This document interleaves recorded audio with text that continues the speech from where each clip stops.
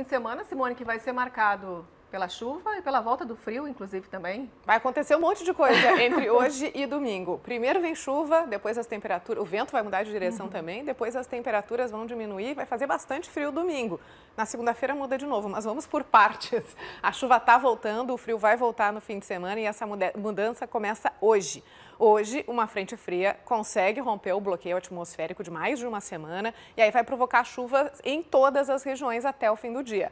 Agora já tem mais nuvens em toda a área de fronteira do Rio Grande do Sul, que é por onde chega a frente fria. Ao longo do dia, ela vai avançando e até a noite ela vai trazer chuva para as outras regiões também. Mas essas faixas em amarelo aqui mais do norte devem ter chuva somente mais para o fim da noite ou até mesmo só na madrugada de amanhã.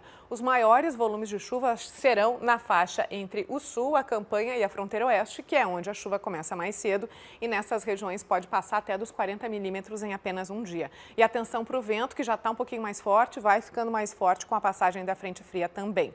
Vamos ver como é que está o tempo lá na fronteira oeste. A gente está desde o comecinho do Bom Dia de olho nessas nuvens carregadas aí lá do lado argentino, que a qualquer momento devem provocar chuva em Uruguaiana. Já fizeram as temperaturas diminuírem, está em 9 graus apenas nessa manhã em Uruguaiana.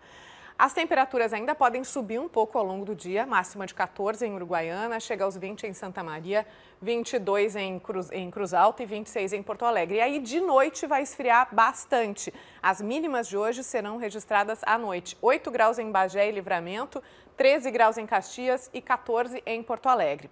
E lembra que ainda é inverno? A gente vai ter frio para valer nesse fim de semana. Não vai ser o frio forte da semana passada, mas nos altos da serra vai ter bastante frio. Bom Jesus está aqui na tela. Hoje mínima de 10 graus de noite, amanhã vem chuva, mínima de apenas 2, domingo pode até ter geada e mínima de menos 1 grau. Na segunda-feira a temperatura já volta a subir em todas as regiões. Daqui a pouquinho eu falo mais do fim de semana.